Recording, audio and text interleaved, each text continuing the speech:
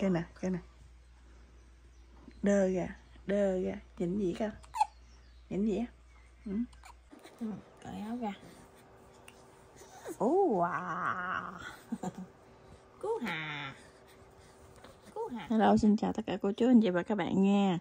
Thì à, có nhiều cô chú um, thương à, Emily á và hỏi thăm á là cái à, vết à, đỏ, đỏ, đỏ mẫn trên mặt của chị á, là bị gì? Mọi người đây nè mọi người xem nè nè bữa nay lặn hết rồi. Đây là cái cái da của chị hôm nay là nắng do nè cô chú. Này nhìn nè. Đó nắng do thấy không? Đẹp gái à, không nắng do à.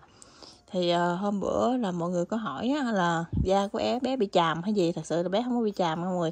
Chỉ là cái da của bé ờ, mình hỏi bác sĩ rồi thì bác sĩ nói là da bé bị uh, dị ứng á, uh, thời tiết á tại vì do chưa có kích ứng được cái, cái thời tiết ở bên ngoài uh, nước ối á. Tại vì trong bụng thì có nước ối và hiện tại là ra ngoài không khí cho nên cái da nó vẫn chưa có kích thích ứng được á cho nên nó hay bị sần nổi đỏ gì thôi.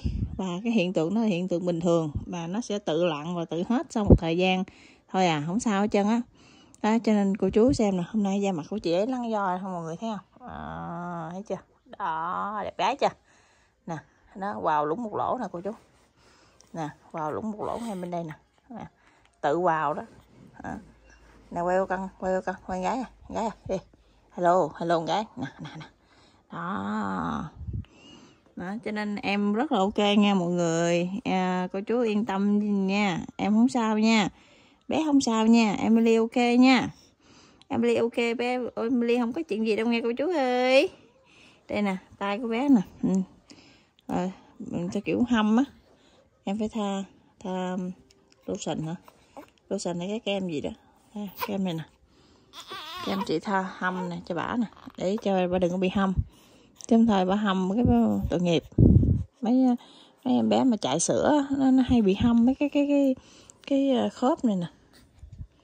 Ừ. rồi cảm ơn cô chú rất nhiều nha.